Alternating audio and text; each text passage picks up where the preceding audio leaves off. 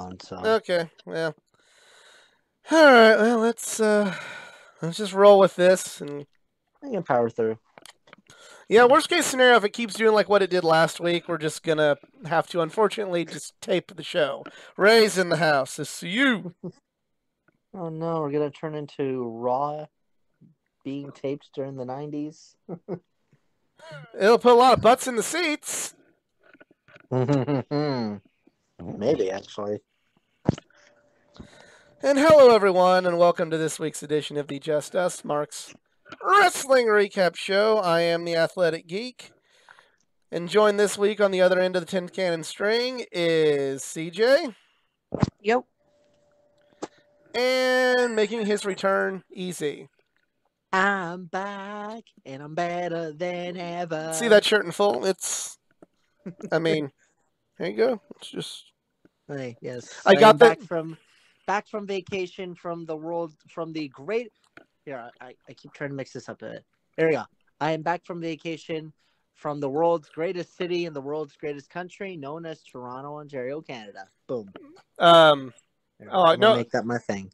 um, well, it's wrong because you're not in uh, St. Louis, Missouri, No.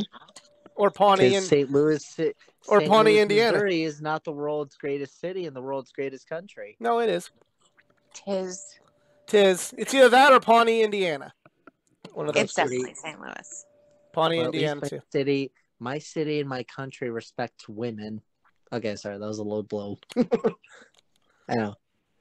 And welcome to the political advertising for about two seconds. No, no, we don't do that here. Even if I- it's even if it's I- things we uh, may agree with, we don't talk about that on here. Um, We don't talk about Bruno. No, no, no, no, No. Not worth giving our energy to things we have no control over, unfortunately. What's the difference? Exactly. But yes, Toronto was fun, reuniting with friends and family. And at least uh, two of my closest friends, when I saw their kids for the first time, they were adorable as hell. And uh, oh yeah, and, uh, I went to the best street race, and on the IndyCar calendar was Indy Toronto. But you don't have a The ice- bridge. You have a bridge though. What do you mean I have a bridge? You don't Don't race over a bridge. How can it be the best street race if you don't race over a bridge? Because we we raced down Lakeshore Lakeshore Boulevard. We raced right next to Lake Ontario. But that's didn't a bridge. over? Yeah, why don't you race over the bridge? We don't have a bridge big enough. Ah, Also, there you race- go. There you go. Uh-huh. Also, if we had a race on the Gardiner Expressway, it would be literal hell. Just that's another story. And hey, it was awesome seeing the Iceman Scott Dixon actually win a race while I'm wearing a Scott Dixon shirt, unlike what happened at Indy. yeah, you know, And I met Romain Grosjean, I met Marcus Ericsson, and uh, McLaren's driver Alex Palou. We'll, we'll see how that goes. It, it may end up, he may end up being nothing driver because if he if he wants to push that issue, We'll see. that could happen. We'll see. But yeah, we have um We'll we have a lot to talk about this week. If you've uh, never seen this show before, this is the Just Us Marks Wrestling Recap Show. I'm at CJ locally. I'm at Easy at All In Starcast. We love wrestling. We love talking wrestling. We love sharing a love pro wrestling with each and every one of you out there. However, just like each and every one of you out there, our opinions are that of any normal fan. We're just fans. We're not any insiders or special people or or uh, wrestlers. Uh, we's just a, a bunch of marks. And um, yeah, We're just a bunch of fucking marks. bunch of fucking marks. Yeah. And um, yeah, I'm also low key missing MJF these days. I think a lot of people are like the MJF chants are like the CM Punk chants now. Um, Maybe that's what they want. maybe. Yeah. Hopefully, or else it's Yeah. gone terribly, terribly wrong. Now, all right. Now, before we talk about Dynamite, am I allowed to just rant a little bit about All Out? I mean, you can. You can, but we're probably gonna just we're probably gonna tell you why why you're wrong though. Okay, look, there's Chicago's fine. Now Reno is good. but if you're going back to Chicago, why the fuck didn't you get the United Center? They it was importantly- Have a summer You- camp. yep yep. yep. CJ, I'll let you take this one. okay. Uh, yeah so when we were in chicago for forbidden door that was a big scuttlebutt because that's the first night that they rolled out the all out banner um, in a show and they've done it every every show they had since. But we were talking about it with a bunch of people and so some some investigative sleuths from the city did did some diving. And although there's no actual shows booked for the united center which is what you will hear a lot of people talking about they bulls have it the entire week including that weekend for like a summer camp thing that Okay. they do with inner city school kids every year Okay. so it's taken I'll take the that. now arena is the second biggest um, venue that's not Mm. open air But, in chicago but the fact that when I heard about the Buffalo, you know, they're going, they're doing AEW in Buffalo, it's like, and it's the fallout of All Out. Everyone was speculating, holy shit, wait, All Out might be in Toronto, AEW coming to Canada. My hopes were getting up, and then I heard All Out is going back to Chicago to Now Arena. I'm like, uh, uh, for fuck's sakes, this is exactly what I've been ranting about for many goddamn episodes. Look, Yeah. it's okay to have All Out in Chicago, but at some point, that pay per view has got to grow. Yeah, maybe. Like, look, I don't mind the shows if they do like I, I really don't mind if they did Dynamite or Rampage there. That's always gonna happen. And same goes for Jacksonville's Daily's place. You know, that's always gonna be, you know, AEW's quote unquote home. But for fuck's sakes, like, come on. Uh, Anyway, but if I hear there's summer camp going on, whatever, and if DePaul wouldn't let us take Wintrust Arena again, whatever. But Well, Wintrust doesn't see as many people as now Arena. yeah wintrust actually is like two to three thousand people less I swear it was. I thought it was bigger, the but whatever. Nope. And I know we'll definitely never get Rosemont because certain somebody would be pissed off. it's it's still as far as seating goes it's still That's why I'm always fearing about whether AEW will ever go to S- Toronto Scotiabank Arena compared to our much smaller venue, the Coca-Cola Coliseum. That so and call it in the Coca-Cola Coliseum it only seats about eight thousand. So yeah. Maybe it's not a bad idea though for marketing and yeah, if we like. had like a rampage, but But li- li- listen, uh, listen, listen. Maybe it's not a bad idea for their two biggest pay per views to be in the same city every year over the holiday weekend so people can plan around it. You can always plan to be in Chicago Labor Day weekend or Las Vegas Memorial Day weekend and go to those shows. And then you have Revolution in full gear can be in different arenas.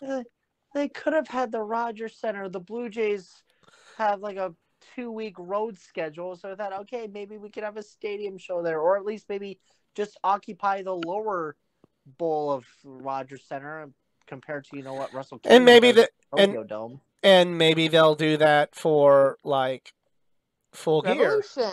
Or revolution. Well, let's see what. but it, it, it's not it, it, it's not bad marketing on their part to go hey labor day weekend we're going to be in chicago. Make your plans. One of our two biggest pay-per-views is going to be in chicago memorial day weekend we're going to be in las vegas our biggest pay-per-view of the year is in las vegas you want to see the biggest pay-per-view of the year go to las vegas Yeah. and and I think that that idea is supported by the fact that the all out ticket sales were gone in an instant, but you can still go to the show if you buy the If you buy a combo. bundle. Mhm. Which So, I, but- I heard what the prices were, and I don't even have to look up to see what the hell they were. It, Like- the combo deals really are not that bad Mm. considering that you're getting three shows. You're getting just- three live shows because Rampage is not taped. Yeah. So that's, you know, Wednesday, Friday, and then the Sunday show. Comparatively to what the all out ticket prices was, it's very affordable. Um, and and there are still reasonable tickets available, but that Mm. tells me that the people who bought them all up are not people that are locals that can just like, oh yeah, well okay, I'll just I'll go ahead and I'll go on Wednesday too. We we are semi ish. We're we're in the range. We're in driving range. We can't go up on Wednesday. We we can't spend a week there to do Yeah. that. That's expensive. Yeah. And and we can't be away for that long. But. So I was like almost I almost was thinking about like doing all out for the Labor Day weekend, but then eh, it's like I thought no. sorry, I have like other travel plans, and plus I am gonna be in Vermont the second last week of August. Actually, no, yeah, well, like the last weekend of August uh, for uh, my late godmother's uh, celebration of life that we were supposed to do in 2020 until shit hit the fan legitimately. Yeah, just um, you know, it, it, it's not a bad business call on their end. I get the frustration, but I also get the whole like, hey, these are guaranteed to sell out, and it's a destination. It's a destination, and then the other two pay per views, you know. I could also I see for that- I could also see Forbidden Door. Like I know Chicago's a good spot for, it, but like maybe Forbidden Door could like move between like Las Vegas, Chicago, and New York. Honestly, I would put Forbidden Door in the Californias. I could see them doing that. it would make the travel a hell of a lot easier. Yeah. Mm. But Especially, you know, for anybody in the Japanese community, you know, they want to take longest flight to Los Angeles. So like, boom, there you go. You got California right there. The time difference wouldn't be a, too much of a pain for them too. Same for the Oceanas. Yeah, the time different. They're, they're Yeah. this- Or J- maybe J- they Japan is a day ahead of us. Or maybe they can do Forbidden Door at the Tokyo Dome. I think I don't think they'll do Forbidden About- Door at the Tokyo Dome. Oh, like just do like this year's in AEW territory and next year's in New Japan territory. Now they might do it in Japan, but not the dome. Yeah. Like I, I, I'm like the, the the Tokyo Dome is kind of like running that as a very, very, very, very, very big deal for Mhm. very, very, very, very special occasions. So I know this is going to be a hard pill to swallow for a lot of people that like are AEW first and not really hip on New Japan, but gonna let you know a secret. AEW isn't as big of a deal to the New Japan audience as it is over here. So, the Tokyo Dome, now maybe like Budokan, maybe.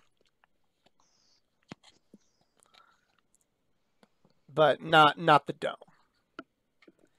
And um yeah, speaking of New Japan Pro Wrestling, the G1 Climax is kicked off.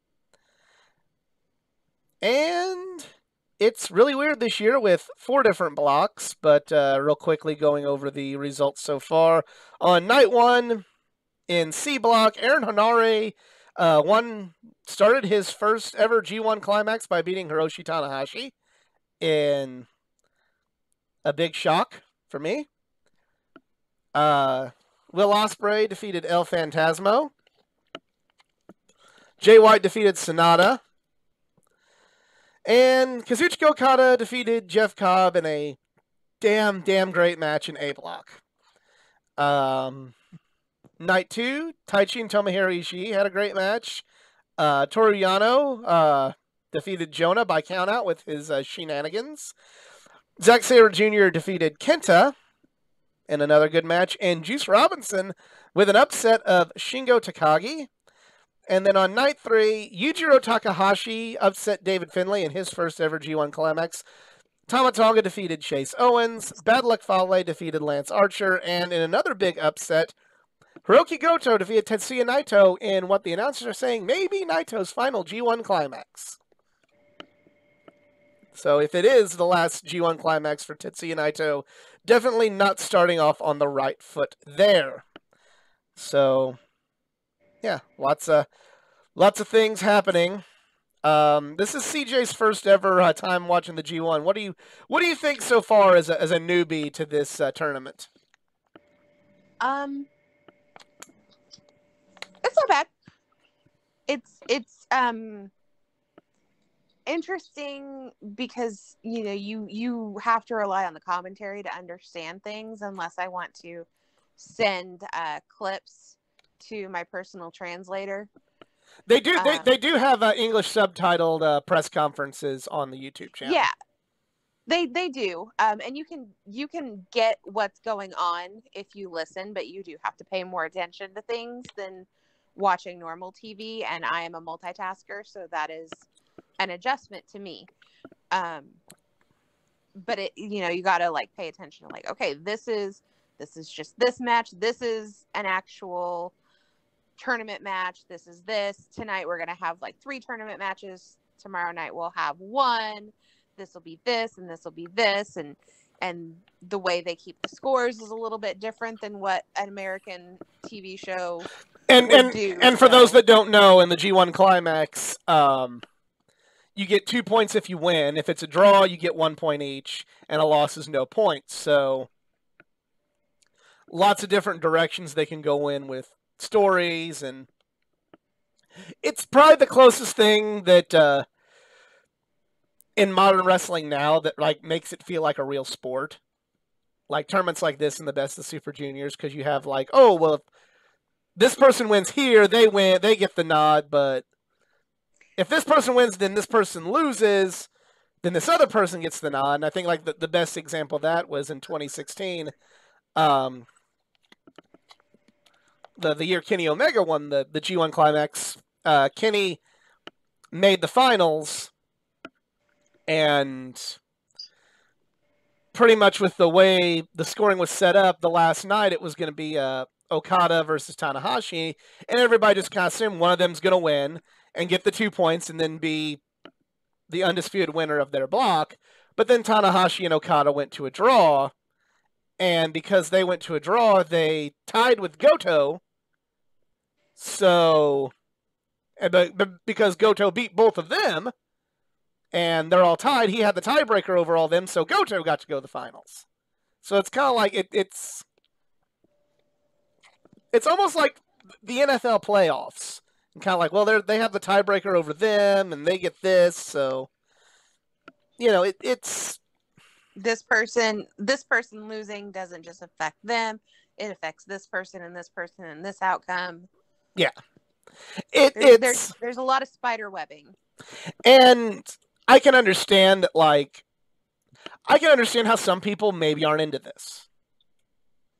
Like, I can understand how, like, if you grew up on WWE and, you know, like, I'm not even saying, like, just WWE, but, like, even just American wrestling where it's like, hey, these guys wrestle and this, that, you know. I can see how this is not something that this may be too much work to follow, not just because you're you're watching Japanese wrestling on an app for Japanese wrestling, but just I understand the complexity of like, eh, maybe this is too much work to follow. I, I do think that they make it easy on the commentary you just you do have to pay No, more no, no. attention to No. commentary Yeah, but I mean, And- like I can also see like American who watches WWE, sometimes you program your brain to turn the commentary off. right, but what I'm what I was just kind of saying is like I could see how somebody would maybe go. I don't want to think that. Like I, I want to relax and watch wrestling. You know, I, I don't want to think that hard of like, well, wait a minute, why why is it Goto and not Tanahashi or Okada? Like that's stupid. I just want make it a four way. Who cares? You know, like I could see like somebody who isn't into that sort of thing just kind of going, ah, that's too complicated. That's too many things to follow. I'll stick with AEW and WWE. But I mean, I guess I see that point. It is kind of nice though because in every single match, it seems like they're like, "Oh, well, here's a little like nugget that we left on the table that we could or co- could not come back to later. Here, here's a little piece from like four or five years ago that we're finally going to draw back to." yeah, it, it's kind of it, it's very they keep stats very well. Like Mhm. it's it's really much um it, it's kind of like you know kind of getting back and I made this comparison you know last week the the G1 Climax is almost like the Indy 500, or it, it was like the Indy 500 for a long time, where even though they had their own world championship, that was kind of considered not as big of a deal being the IWGP champion as it is winning the G1. Kind of like an IndyCar's like, ah, you won the IndyCar championship, but did you win the Indy 500? And that's kind of the way it was looked at. And that's not so much the case anymore with the G1, but it's still like the way they bring up, you know, past stats and, you know, nobody, you know, nobody has ever lost their first two matches and went on to win. And, you know, um, this person's never lost to this person in 10 years of being in the G1 and won their block. You know, it's like these little stats, you know, that you have, like you have like in, maybe not just racing, but like other sports. No one's ever came back from this. No one's ever, you know, been a wild card and done this. No one's ever not been not qualified here and gotten there, you know. So that that, that part I think's interesting, but it's it, it's a lot more sports centric, except for like some of the some of the you know matches still, especially now New Japan's really really westernized a lot of things. Um, like other than that aspect of it, it's still the, the you have a lot more of a real sports drama to this. I feel. But yeah, um, let me see if I have a yeah. Going through the blocks now, like I said, in block A, Okada, Yano, and Fale all have two points. Block B, Tama Tonga, Jay White, and Taichi all have two points. Block C, Henare, Goto, and Zack Sabre Jr. have two points. In Block D, Takahashi, Yujiro Takahashi, Juice Robinson, and Will Ospreay all have two points. Um, I know the one thing they're building up is um, since it's smaller blocks and less matches for the finals, um, there's a little bit more of a sense of urgency to win every match or win win your matches because in the past, you know, you could theoretically go oh, start out 0 and 3 or you could lose three matches and still make the finals. Um, now you can't. So, you know, since there's only there's four blocks instead of just two, with more wrestlers, there are less wrestlers in each block. Yeah, and then semifinals will be A and B block wrestling uh, each other to go to the finals, and C and D wrestling each other to go to the finals, and then the those two winners meet in the uh, match to determine the winner. So we'll keep you updated in the coming weeks for uh, more of the goings on in the G1 Climax. Also, this week was Rampage. Um, start off with John Silver and Alex Reynolds versus Brody King and Malakai Black. Uh, this was a good match. Just didn't really like seeing uh, how easily the uh, the Dark Order were defeated again. Not at all. No. Um, no. Ring of Honor World Championship match: uh, Jonathan Gresham versus Lee Moriarty. Um, it was okay, but we kind of, yeah. With, with, with, with, later on, you know, they announced that Claudio would be getting the title shot at Death Before Dishonor this Saturday. So, yeah, looking forward to that match. Um, Kris Statlander and Athena versus Charlotte and Robyn Renegade. This was okay. Uh, the Gunn Club had a uh, confrontation with the acclaimed. It was a decent segment. Um, you know, shit was real when Max wasn't doing a rap. then uh, I went to bed before the main event, uh, Private Party versus the Lucha Bros. I was sick. I didn't want to. I didn't want to stay up and watch it. All right. So that was Rampage. Now let's uh, light the fuse and bring the boom. Let's talk Dynamite. Starts off with Brody King versus Darby Allin. CJ, take the lead on this one. Oh no, no, no. Go ahead. Go ahead. I'll jump in. Don't worry. This wasn't a terrible match, just kind of I mean, I get like there's a lot of people saying like, uh, Darby didn't lose any anything by losing a match to somebody that much bigger than him, but I'm getting a little sick of Darby loses. The, the storyline is Darby loses, and then he comes back in a you know crazy match, and then he wins. So I'm I'm, I'm thinking that's the direction they're going in. Kind of getting a little tired of that. Then at the very end, um, um, Sting gets the black mist in his face. So I wonder if Sting is going to go to the dark side, like Julia Hart did, and Pac, and all that stuff. Dear Jesus, I hope so.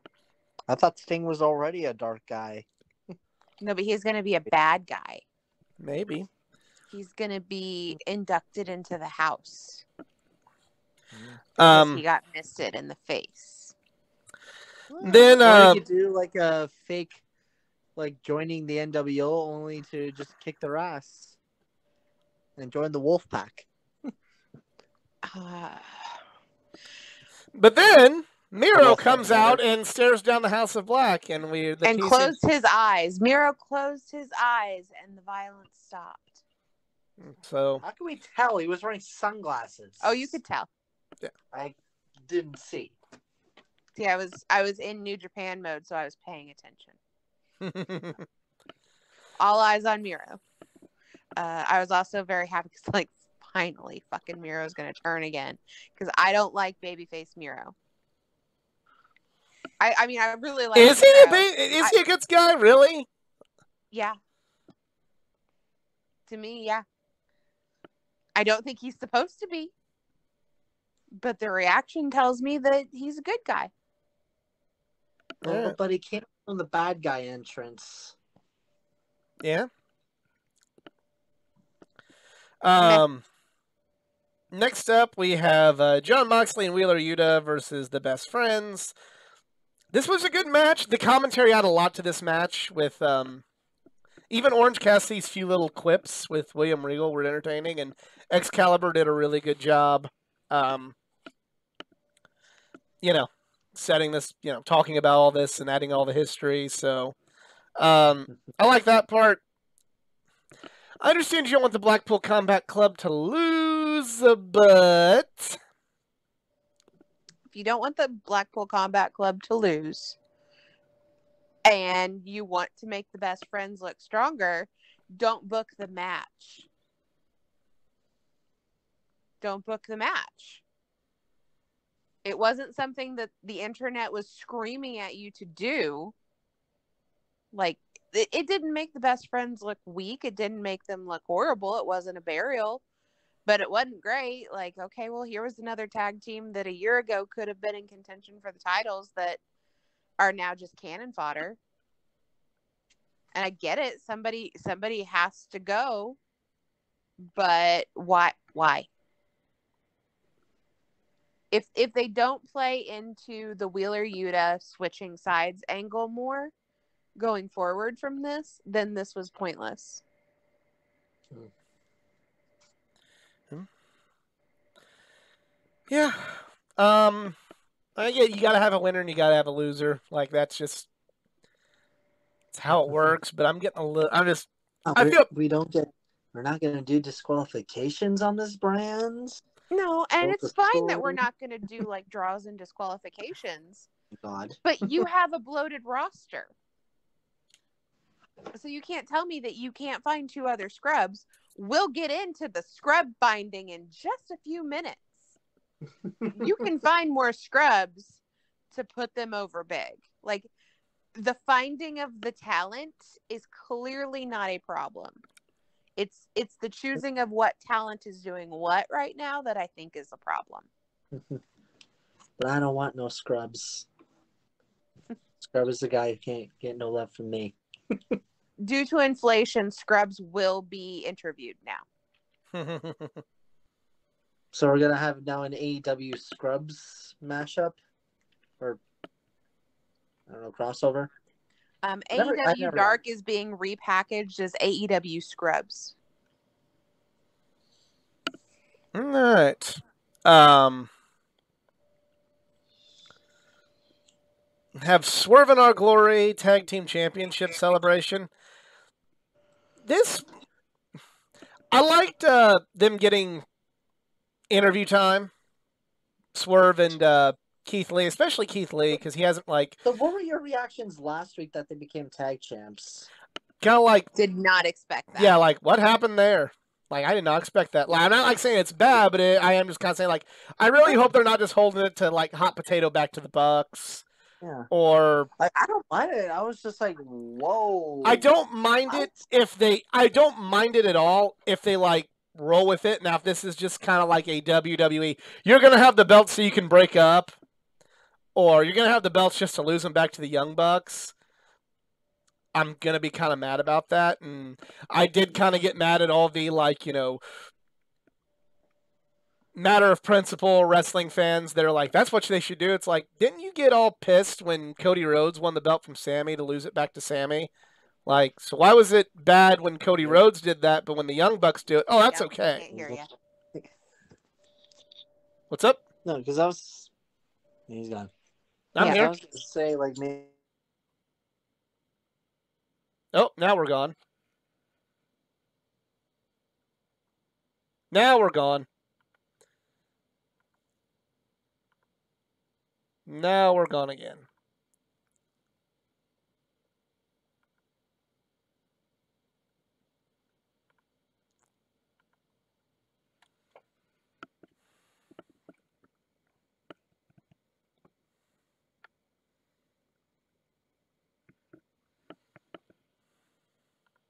Hang on, guys.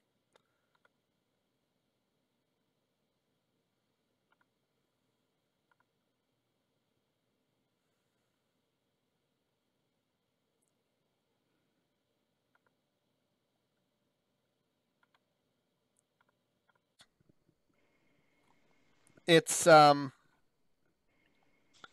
it sucks. It's stupid. This would be a good time to remind you, amazing viewers, that Athletic Geek has a Patreon that you can support. I don't think that's the problem there. Never mind.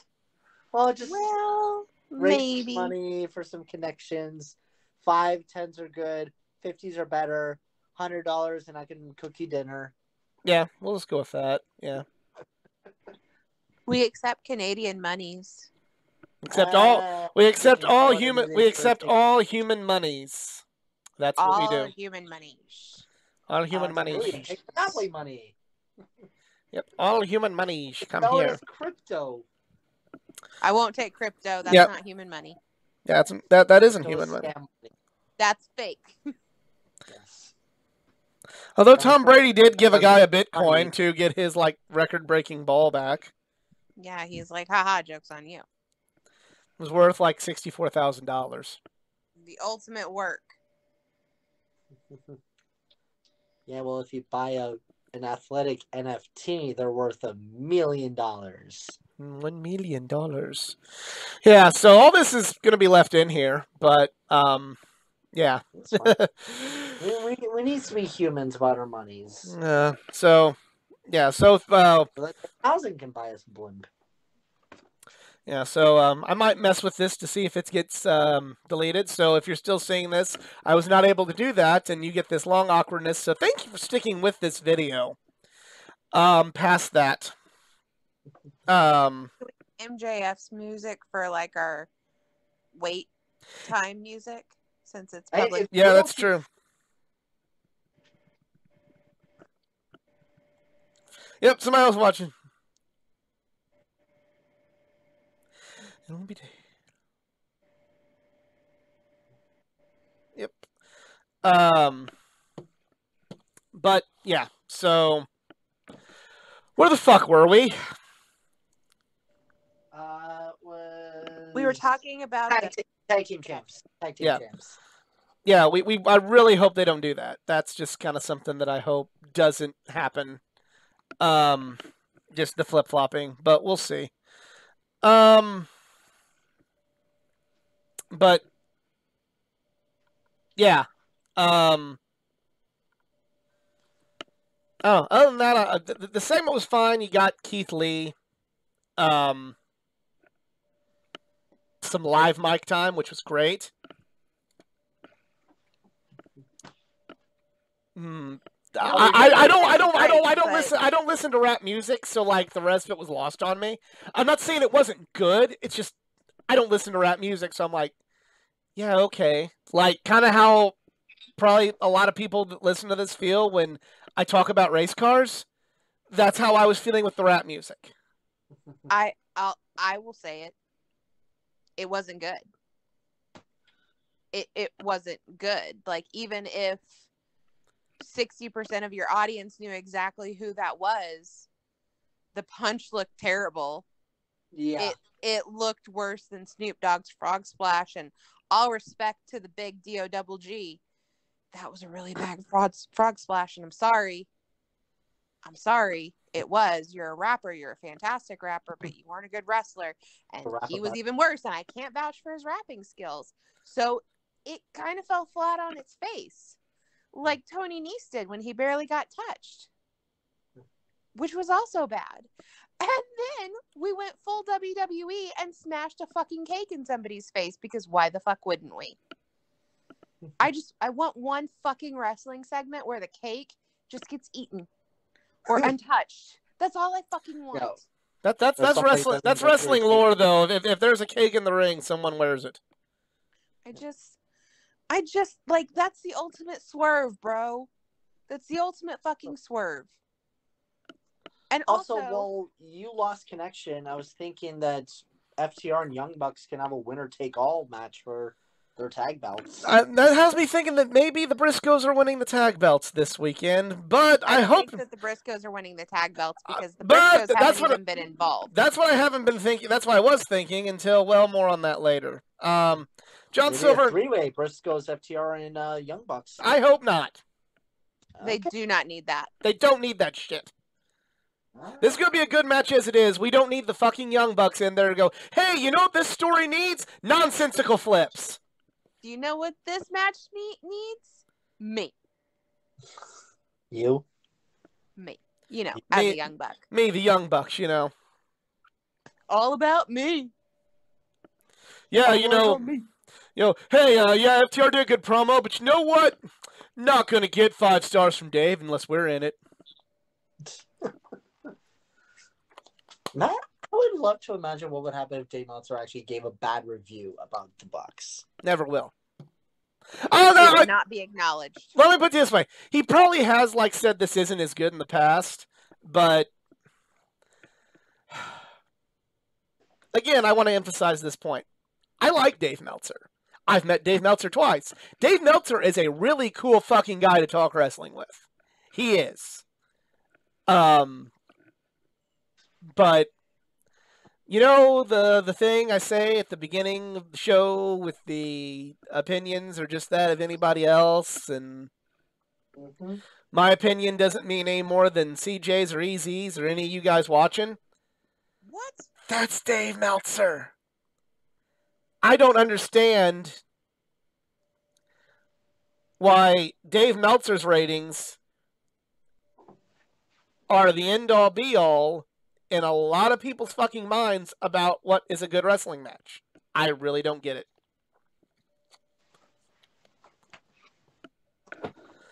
Like, if you want to like see his opinion and be like, oh, okay, cool. I, I, you know, like you would like just like reading a review and like, oh, oh, Dave really liked it. I disagree, or Dave really liked it. I agree, or Dave didn't like it. I disagree, or whatever. Like, that's fine. There's matches that Dave gave high ratings to that I'm like, oh, maybe I should check out that match. I'm not aware that this match exists. And then I watched it, like, yes, that was very good, or no, that wasn't very good or whatever. So like in that sense, that's cool.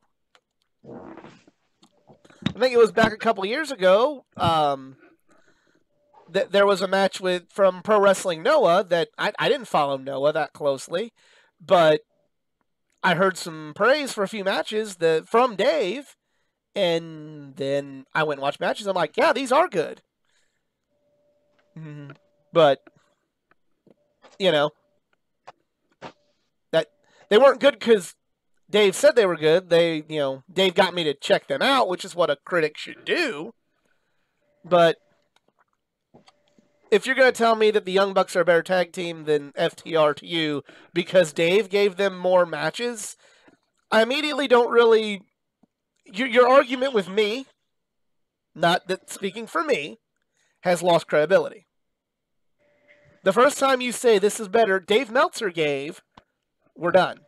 I, I I'm taking nothing you say seriously for the rest of that thing, for the rest of this discussion. If you say the Young Bucks are better because I like high flying action, this, that, and the other, I'm going to disagree with you, but I will respect that opinion more than when you go, well, Dave said. It's a real Dave move there, Dave. I'm curious if that commer- if those sorts of commercials play in other areas of the United States or the world. Well, it's for CarbondaleHelpWanted.com. Yes, but I've listened to I- I've heard some other ones from other uh, in other areas where they like it's another help wanted site, and they use the same thing. So I don't know if that's like something they take. They take that commercial and then go, "Hey, ClevelandHelpWanted.com," or you know, St. Louis HelpWanted.com or Chicago. All right.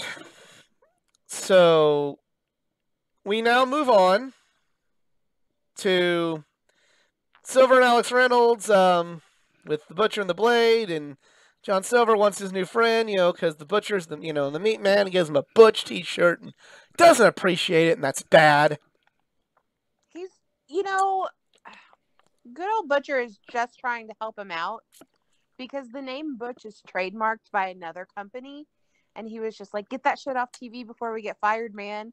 Looking out for you. But like he he was mad on the outside, but John looked into his eyes and he was like, We're bros. We're homies. I got you. Take my got breath you. away. And and I love you. Bum. And you you're my best friend. Well, Because oh. nobody wearing a David Bowie shirt could be mean. You just can't. Well, Alex Reynolds is hurt now, and they're going to have a tag team match on Rampage with uh, John Silver's tag team partner being Hangman Page. All right, look. I love the Dark Order. I will stand on the Dark Order should be a lot bigger than they are. Hill and be willing to die on it. I've I've gone to that hill before on this this here program. It's it's something I'm willing to do. But what you you you you haven't used the Dark Order well in 9 months and now you're putting the arguably your your top hero that's not injured right now in a storyline with him, it's like, but, huh? Like it makes sense, but it's like, is this the right move? I don't know. It's like it, it feels like they don't know what they're doing with a lot of things right now. I understand the injury bug hit, and boy did it hit. Boy did it hit. But Forbidden Door showed like, hey, we can we can move on the fly, no problem, no problem. But now it's like, I just I don't get it. with them. Anything else anybody wants to add? Nada. Not for this. Christian Cage and Luchasaurus defeated the Varsity Blondes. Um, I liked how uh, Christian got the pin after Luchasaurus did all the work. And uh, then Jungle Boy came back. and what I predicted would happen happened. Luchasaurus was all a ruse, and it was Christian that got worked. I didn't like this. I I saw this coming, but they could have done so much more with this. Like it's not I think they should have waited. Yeah, they should have waited, and maybe like they should have done something like, "Oh my God, Luchasaurus! No, no!" And like he's beating up Jungle Boy, and then eventually like you know, "No, don't do this. We're actually the real friends." And then you have the big like moment of, "Wait a minute, I remember who I am now. It's not with Christian." Like that'd have been a really cool and special moment, and they kind of squandered it. Or just have like a massive stare down in the ring, like nobody throws a punch, or you just see like Christian Cage beating up Jungle Boy again, and Luchasaurus just contemplating whether to, you know, help Christian or help Jungle. Yeah. I, Um, I would have kept Luchasaurus as a bad guy, and and had them have a match. Have Jungle Boy and Luchasaurus have a match. Have Luchasaurus just be. Christian's supposed to be a smart heel. Like he he got worked. I, I would have like saved this moment for All Out, like Jungle Boy versus Christian Cage, and Luchasaurus is at Christian Cage's side, and then just when it looks like, you know, Christian Cage has the upper hand, or he wants he's demanding uh like Luchasaurus, you know, beat him up, and then he just turns around, he just stands next to Jungle Boy, and they just do like a two on one beat up on him. hmm. I mean, I would have I would have done something more to play this out until you can get it to pay. You could have really stretched this out a lot more. Again, yeah. I completely forgot, you know, how long Jungle Boy was even out for. It's like didn't seem that about a month About a month. Oh, about a month. Oh wow. Because it was in St. Louis that that happened. Yeah. Yeah, yeah. Yeah, Uh. I would have waited this out. Next up, uh, the Gunn Club declined a uh, match the uh, a, um, a challenge to a match the acclaim, but um, Austin Gunn wants Max Caster in a rap battle. Oh boy. Dear Lord Epic rap battle. Of history. Austin Gunn versus Platinum Max Caster. I would. Oh, Austin Gunn has to bring up Yeah, uh, Max Caster being one of Bobby Lashley's sisters. Now that I found that out. hmm Uh, uh, wasn't it Anthony Bowen? No, it was Max Caster. Never mind. Don't go in that cliche direction, you. I wasn't. I literally wasn't going in that cliche direction, but I legit thought it was Anthony Bowen. No, it was Max I Caster. Was remember the he shared about it or something. Um, next up, we have the FTW Championship match: Ricky Starks versus Cole Karter. CJ, take it from here. Who the fuck's Cole Karter? Oh, do you not know who Cole Karter is? Oh, here we go. Oh, do you not know? This is gonna be fun. Um, Cole Karter, formerly of NXT fame, just got released a couple weeks ago from his NXT contract for failing a drug test. Oh boy. Was working with a wrestler going by the name of Tony D'Angelo on NXT, and and yes, the the mental images of like the Mafia Sopranos shit that's coming to your mind when I say Tony D'Angelo is exactly what the gimmick is. Okay, okay, we're all caught up here. So when they wrote him off of TV, they just had Tony D'Angelo say he's sleeping with the fishes. So this whole fucking match seems to be just one big goddamn joke for Tony Khan. Oh, he's sleeping with the fishes on NXT, so I'm gonna put him on my Shark Week. Uh-huh. Like I- I'm not fucking laughing. And this has got nothing to do with the fact that it's. I mean, it has a little bit to do with Ricky Starks. Like part two is all about Ricky Starks. But this, it was so goddamn pointless to take somebody just because they had been on WWE and you wanted to make a little joke and put him on Dynamite when we have gone for weeks talking about all of the talented people in AEW already yeah. that are grasping for TV time, that are relegated to dark and dark elevation when they have more talent than that, and when they have a fan base that supports them and would like to see them on television. Not even just a weekly basis, but a monthly basis. Well, so what about, Private party. uh, Hook was fighting Ricky Starks and just beating the living shit out of him.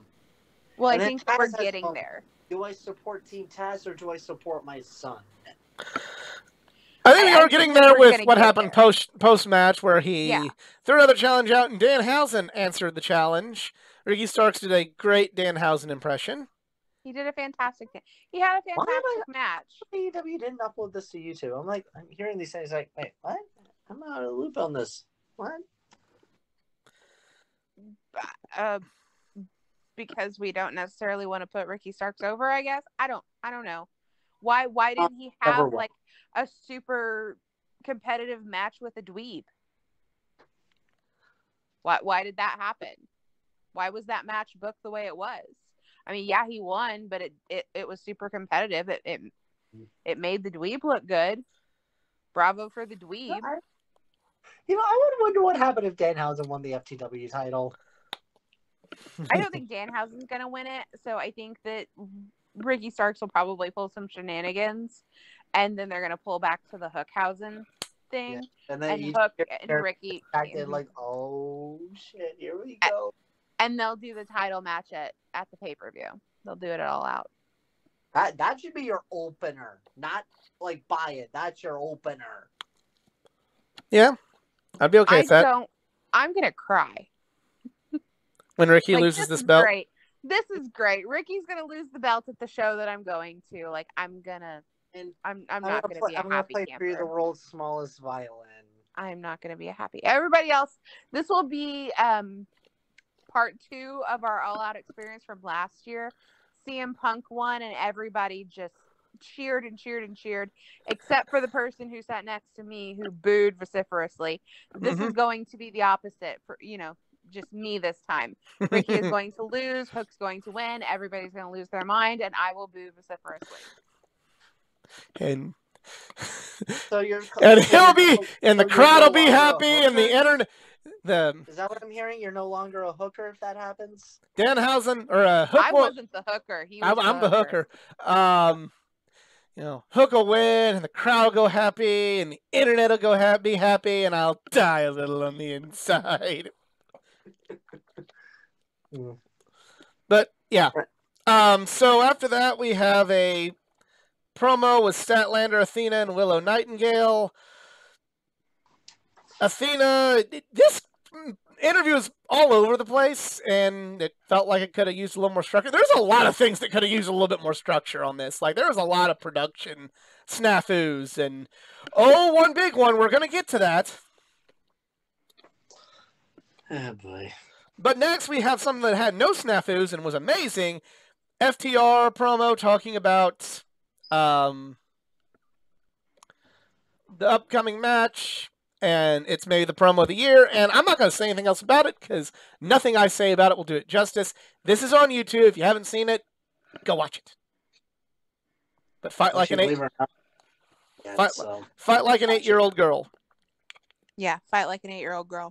I will point out the fact that you notice, like, we're building on this match. We've talked about it a lot with the Briscoes, but we don't see the Briscoes other than in the graphic. We we don't see a video from the Briscoes. We don't see the Briscoes on TNT or TBS. Mm-hmm. Yeah. Anybody else? Maybe they're gonna be a no-show. No, no. I think they're going to show up for the pay per view. I just think that that's probably a Discovery Warner decision to not let them on TV. Yeah. So that's kind of why I They're lean into not they're not going to win the titles because I, no, no, it was this promo that made me think, hey, now maybe they won't win. But I know last week we were thinking, hey, maybe it is the Brit. Maybe they're not going to have FTR have all the belts like we thought. But I don't think they're going to let FTR have all the belts like we thought, but I don't think they're Yeah, gonna- the Young Bucks got to win the feud because they're the fucking they're they're the greatest tag team of all time. Ain't you heard? Um. Jade Cargill and Kiera Hogan defeated Willow Nightingale and Athena. This was okay. this was really kind of clunky. There were a couple botched spots in this match. There was some stuff I liked, there was stuff I didn't like, hence why I'm giving it the okay rating. It was a little rough. It was a little rough. Oh, wait until we get to our main event. Mhm. Well, Yeah, in, in light of the whole show, like this wasn't the roughest. And it you, I get it. Jade is still new. She's she's still very new. She can't think on but even Athena and Hogan had spots that were just like that it's going to be on Botchamania. It just is. Oh yeah. There's one really big uh, suplex spot that they just could not get, and they kept trying and trying and trying. Like th- you guys aren't new to this. You two are both very good wrestlers, and I don't understand what's going on here right now. Yeah. so next up we have well, first of all we had a uh, essentially uh, Britt Baker say that I'm tired of Thunder Rosa. And I mean- Thunder and Thunder Rosa's title reign has not been uh, not been written well. Another news. Water is wet. Water is wet and a cup of coffee was served at a Starbucks restaurant today.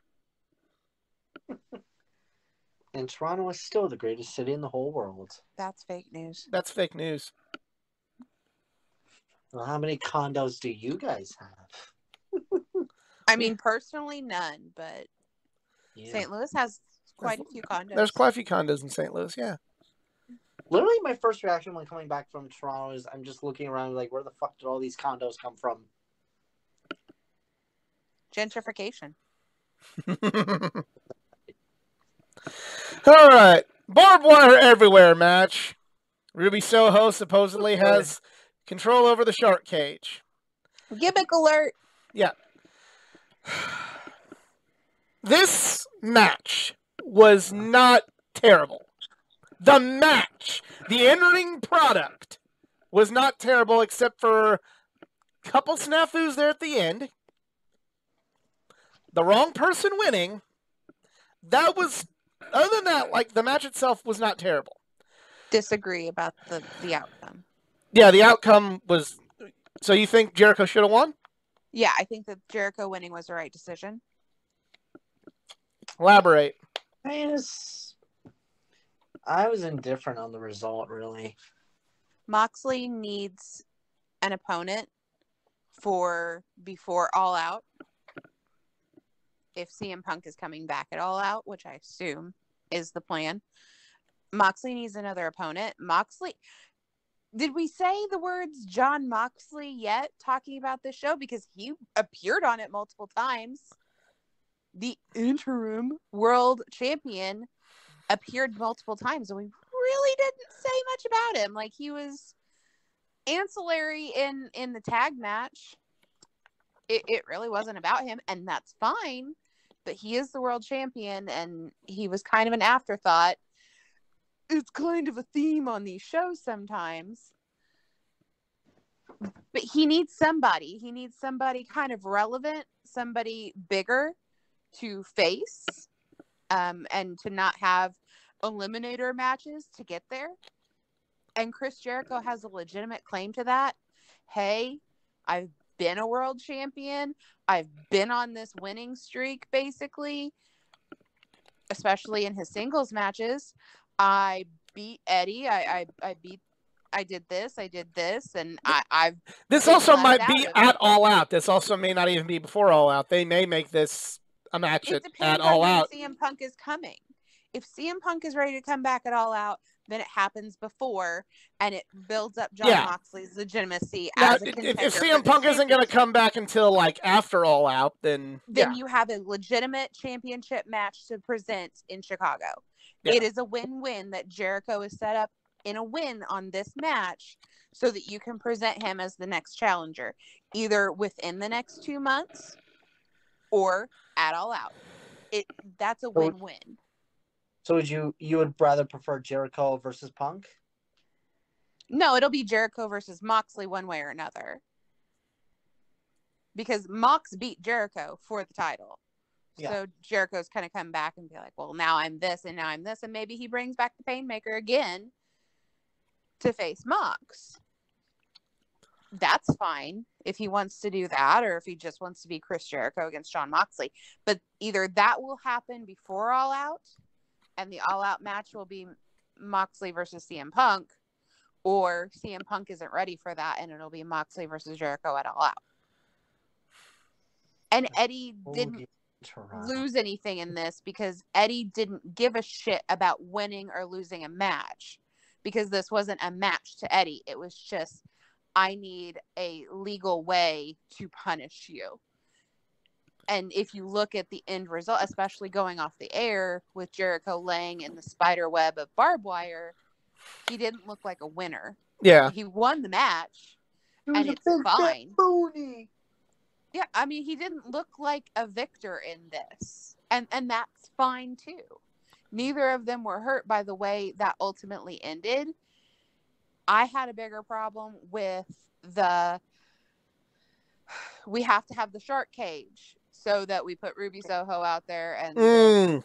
Anna Jay. Turn. Well, let's yeah, let's tell, let, let's let's talk about that. Tay Conti runs out to attack Ruby Soho, and Jay runs out. You know, after hearing, you know, we hear Dark Order is forever, and then oh wait, no, I'm just kidding. I'm with Ty still. I'm bad, So I long. turned. Like, what? and then Anna Jay. turned. Yeah. I'm like, why? it's like very good I was like, question. I was like, oh, Anna Jay's a bad guy. And I was like, no, I'm actually legit wondering why. Because they're Jay does not besties and involved with the Jericho Appreciation Society. Yeah, it's Like, no. why would if if your whole thing if if if Sammy and Ty have already like you know they're with the Jericho Appreciation Society, they're members. You say the Jericho Appreciation Society is going in the cage, They put Sammy and Ty in the cage, hmm and also build a cage. yeah, yeah, yeah, yeah. Don't not put Sam in the cage, and the, or at least have him be in the fucking shark costume. That seems to be Sammy's thing, is wearing the costume and taking it off, and it's him. But then, oh, but then, so Ty gets the they, they lower the shark cage. Ty gets the key. She can't open the fucking cage. So the smaller members of Jericho Appreciation Society start escaping the cage through the cracks in the cage, and they shoot it. They shoot it. They don't say, "Hey, get the camera off of that and let's, you know, pretend she got open." They shoot it. What's worse They fucking is shoot it. No this this gets worse. This does get worse. So they're shooting it. And they're shooting the struggles with Ty trying to get the lock undone and getting the lock mm-hmm. undone. And right as they cut, she hands the key to Daniel Garcia to see if he can get it undone. And they cut back to the ring, only to cut back to the cage just when they are coming through the bars. You already cut off. You've already cut off that feed. Watch in the truck, see what happens. And as they're running out of the cage, not- YouTube as well. Like, yeah, it's you would think It wasn't a good look. in a way, but if you're gonna make a shark cage to keep people out of a match, then make it small enough so that the smallest people can't fit into it. And if you're at least gonna do something like, i- i- if you're gonna have that like as a as a safeguard in case this happens, don't fucking shoot it. you're Don't put that have- on if you- camera. If you're gonna have a safeguard, then don't make a real lock. Gimmick the lock. This was just You they've had problems with this kind of shit before. Th- Stop using real locks. Th- th- this was like the ultimate like. Have you learned nothing from the last time when you, when something fucked up, not having a safeguard in place? Have you learned nothing? there's like two things that everybody with basic knowledge should know how the fuck they work. Putting on a seatbelt when you get on an airplane and turning a lock with like unlocking a lock with your key. Like I'm like, how the fuck are they struggling and how the how are they escaping the cage and they can't get the lock? I was like, are you guys fucking serious? Like It was just a normal little key lock. Like I, I don't understand what the problem they was. cost a dollar at like your local dollar store. Like you can't get like a mhm. simple master lock. You just slip in, unlock, boom. Like Yes. Seriously, Yeah, and it did wasn't like the. Ridiculous key rings either. Like it was one key, one lock, ta duh. I I don't it clearly worked because eventually we get um the bigger guys coming out of the cage. It So like I mean it, it worked. One of those combo locks. Okay, maybe I could give them some tiny slack that they couldn't get it open. Like maybe they just can't get the combo open. But this is key into piece, turn, click.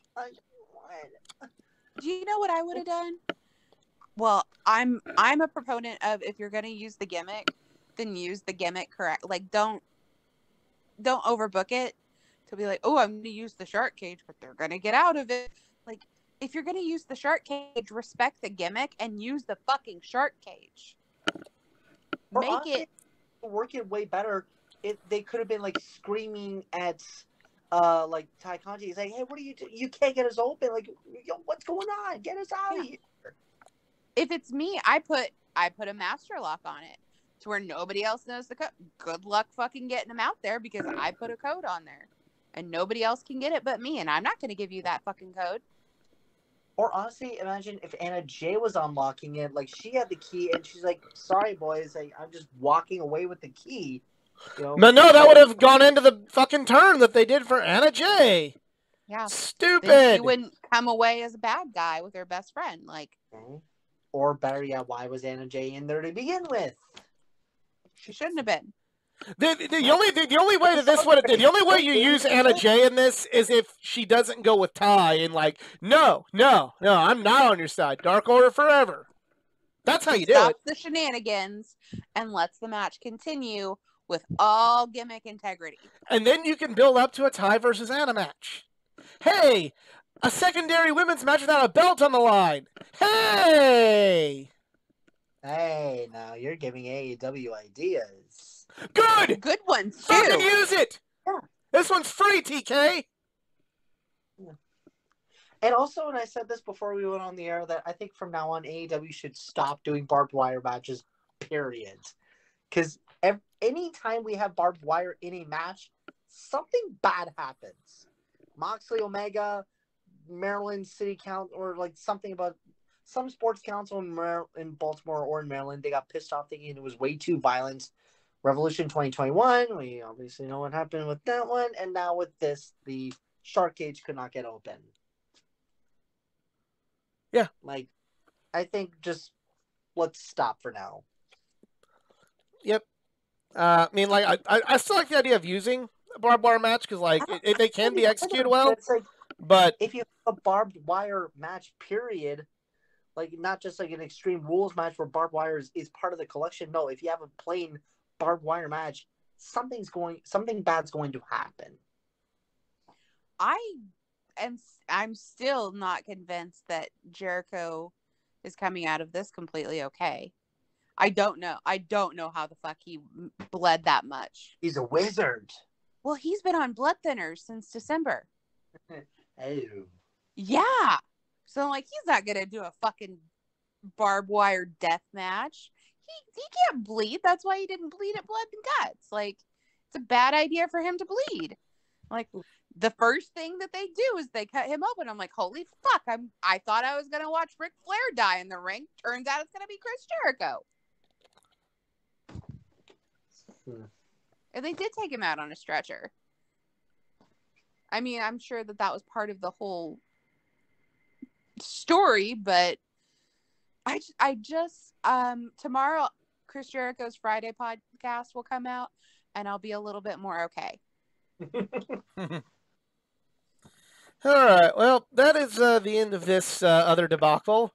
Um, we'll no longer be live. We'll all be taped like this one is here, except for the first half. It's like it, it's like Halloween Havoc, 1998. Until I can get some better equipment because I think that that'll help. Hopefully, we'll see. yes. We'll see. But we want to thank you all for sticking with us and sticking with the awkward silence in the middle of this. If I didn't edit it, we're going to see if I can with the Windows Movie Editor. Um, but if you enjoyed, please give a like, share, subscribe for more content, not just from the world of wrestling, but from the world of comic books, anime, gaming, and all things geek culture. Follow me on my social media pages, facebook.com slash athleticgeek9, Twitter athletic underscore geek9, Instagram athletic geek9. CJ, do you still have social media? Yes. At CJTMall0. All right. And uh, EZ, do you still have social media? Of course, you can find me at the Twitter at A R I K Z A R I N S at Arik Zarins. All right. Wrestling with me. Yep. Uh, for CJ and EZ, we're just marks and we're out. Have a good one.